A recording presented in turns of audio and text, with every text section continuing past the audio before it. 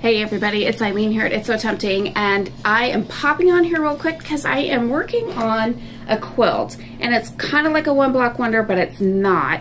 Um, but the same principle applies and I have to cut out this border fabric which you see here and it is gorgeous. It is absolutely beautiful. It is from In the Beginning Studios and I am so excited to be actually starting this because I've been wanting to work on it for a while but as I was cutting out this beautiful border fabric, see that? Isn't that gorgeous? So pretty.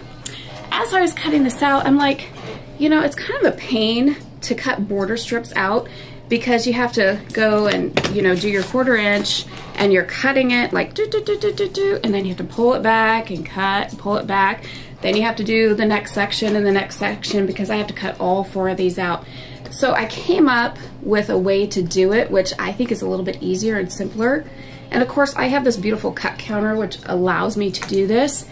But I figured you probably could take your largest cutting mat that you have and maybe put it on your uh, table or if you have like a six foot foldable table you could put it on that and go for it but I just want to show you guys what I'm doing so basically what I'm doing is I'm following my quarter inch along here and I'm using my awesome Quilter Select ruler and rotary cutter and I'm following that quarter inch. I get that one done.